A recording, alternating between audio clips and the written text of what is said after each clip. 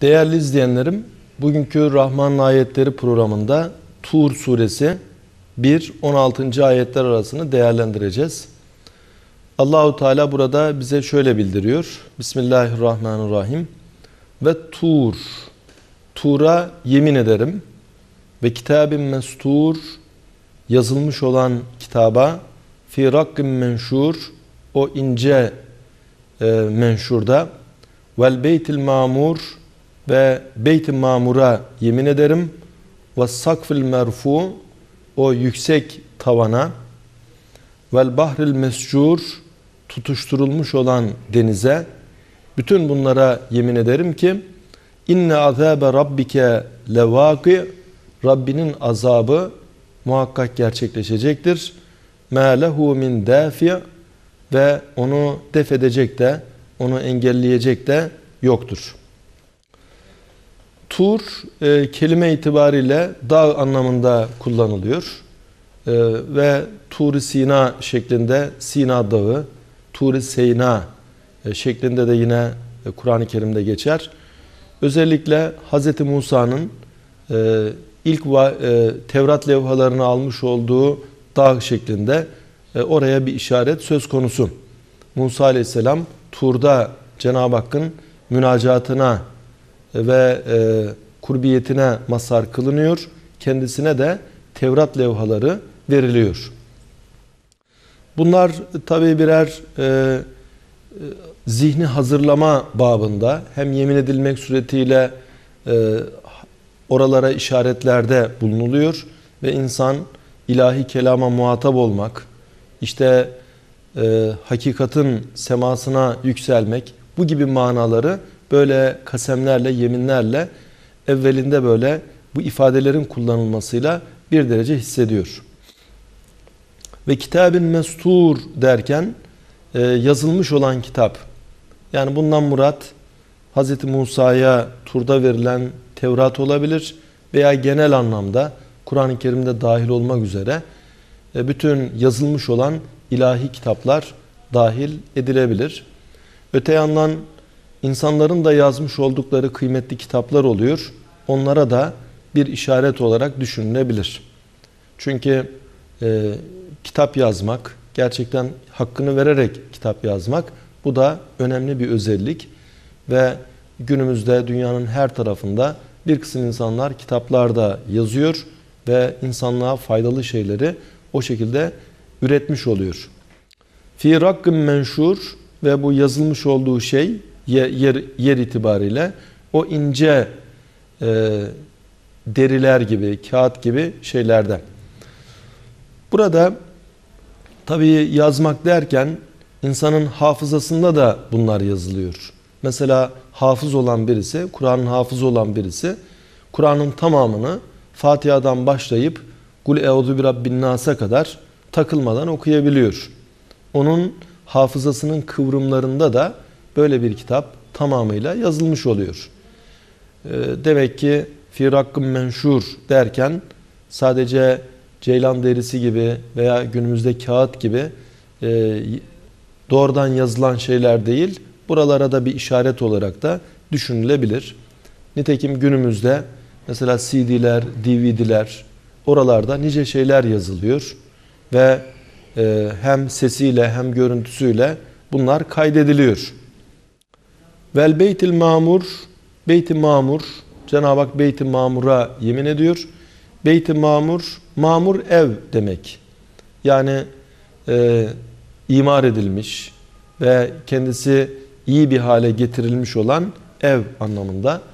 Kabe için kullanılır. Kabe beyti mamurdur. Öte yandan meleklerin e, üçüncü kat semada veya dördüncü kat semada tavaf etmiş oldukları yer Oraya da Beyt-i Mamur deniliyor. Nasıl ki bizler e, yeryüzünde kıble olarak Kabe'ye yöneliyoruz. Kabe'nin etrafında devamlı tavaf edenler oluyor. Semada da Beyt-i Mamur meleklerin Kabe'si, kıblesi. Onlar da orayı mamur kılıyorlar ve devamlı orası ibadet eden meleklerle dolu, tavaf edenlerle dolu. İşari bir mana olarak da belki insan gönlü, insanın gönlü O da bir beyttir, bir beyti mamurdur. Eğer imanla, takvayla, güzel şeylerle mamur hale getirebilmişse. Ee, Yunus Emre gibi e, gönül dostu insanlar bunu ifade etmişlerdir. Mesela Yunus Emre diyor ki, gönül çalabın tahtı, çalap gönüle baktı, iki cihan bedbahtı, kim gönül yıkar isen. Ve yine tasavvufi yönden şöyle değerlendirmeler yapılmış. Acaba Kabe mi daha muazzam yoksa mümin bir kimsenin kalbi mi? Ve denilmiş ki Kabe Hz. İbrahim'in binası. Kabe'yi Hz. İbrahim bina etti ama gönül, insan kalbi mamur olmak şartıyla doğrudan doğruya e, Allah'ın sanatı. Böyle olunca e, insanın gönlü Kabe ile bile kıyasa girmez şeklinde değerlendirmeler yapılmış. Ve sakfil merfu yükseltilmiş tavan. E, gök kubbe olarak bu anlaşılabilir. Üzerimizdeki gök kubbe dünya sarayının damı, tavanı durumunda ve gerçekten çok yüksek ve gerçekten çok muhteşem. Vel bahril mescur kaynamış olan deniz. Yani burada denizin alev alev yanması ve izel biharu fuccirat e, kıyamette görülecek olan bir tablo veya taşkın deniz anlamında denizdeki dalgalanmalar e, yönüyle de belki e, değerlendirilebilir. En azından şunu biliyoruz ki su hidrojen oksijenden meydana geliyor ve yanıcı özellik su, suda bulunmakta. Suyu meydana getiren maddelerde hidrojende bulunmakta. Bunun neticesinde mesela kıyamette o denizler alev alacak ve cayır cayır yanacak. Bütün bunlara Allahu Teala yemin ettikten sonra e, kasemin yeminin cevabı olarak şu cümle geliyor. E, İnne azabe rabbike levâkiyem. Rabbinin azabı şüphesiz vaki olacaktır. Yani bu alem ciddi gayelerle kurulmuş. Dolayısıyla e, insanlar imtihan ediliyor. E, diğer alemde bir azaptan e, gelen kitaplar vasıtasıyla insanlara söz edilmiş. Bu ütopik bir şey değildir, gerçektir e, ve tahakkuk edecektir. مَا لَهُ مِنْ دَافِيَ Ve bunun önüne geçebilecek kimse yoktur. E, bunu def edebilecek, engel olabilecek kimse yoktur. يَوْمَ تَمُورُ السَّمَاءُ مَوْرًا O gün kıyamet koptuğunda sema dalgalanır. Yani nasıl ki bir deprem olduğunda e, binanın tavanı gidiyor geliyor bir dalgalanma oluyor. Kıyamet koptuğunda da sema gider gelir ve o e, sakfı merfu olan e, sakfı mahfuz olan sema artık çatlar. İze semaun şakkat sema e, yarıldığında İze semaun fatarat e, infitar ettiğinde, yarıldığında bu manalar o zaman tecelli eder. Ve tesirul cibalü seyra ve dağlar da bir yürüyüşle yürür. Yani dağlar evet sabit görülüyor ama kıyamet geldiğinde o dağlar da bak bakmışsın ki bir serap halini almış. İşte kocaman bir Ağrı Dağı diyelim. İnsanlar Ağrı Dağı'nı görüyor ama kıyamet koptuğunda e, dağın yerinde yerler esecek, her şey fırlayıp gidecek. Feveylün yevme izillil mükezzibin o gün Allah'ın ayetlerini yalanlayanlara yazıklar olsun. Yani vay onların haline. O gün azapla karşı karşıya kalacaklar. Ellezine ki onlar fi havdin yelabun bir havuzda oynuyorlar. Yani işin ciddiyetinde değiller. Hani çocuklar havuz gibi bir yerde kendi aralarında oynarlar. Onlar da gaflet havuzuna dalmışlar. Gaflet bataklığına dalmışlar. Orada oynuyorlar. Halbuki şu alem çok ciddi gayelerle kurulmuş. Oyun eğlence için değil. Ee, Allahu Teala onu e, müstakillen de ifade ediyor. Gökleri ve yeri biz oyun olsun diye yaratmadık. Eğer bir oyun, bir eğlence edilmek isteseydik kendi nezdimizden edinirdik. Bu mealde ayetlerde bildiriyor. Ve ayetin devamında Allahu Teala şöyle bildiriyor. Yevme yud'une ila nar cehenneme da'a. Onlar o gün cehenneme ateşine itilirler. Bir itilişle, bir kakılışla cehennem ateşine doğru atılırlar ve itilirler. Yani bu e, cehennem ehlinin feci akıbetini bildiren bir ayet. Yani tutulup e, e, karga tulumba adeta atılması tarzında bir durum. Hâzihin nârulleti kuntum biha tükezzibun ve onlara denilir ki işte bu yalanlamış olduğunuz ateş. Yani dünyadayken yalanlıyordunuz. Cehennem diye bir şey mi olur? Cennette cehennemde bu dünyada diyordunuz. Cehennem azabıyla korkutulduğunuzda e, uyarıldığınızda alay ediyordunuz. İşte bu dünyadayken yalanladığınız, kabul etmek istemediğiniz cehennem ateşi. Efesihrun hâzâ bu bir sihir mi? Em entum la tubsirun yoksa e, görmüyor musunuz? Yani dünyada e, Kur'an'a sihir demiştiniz. Peygambere sihirbaz demiştiniz.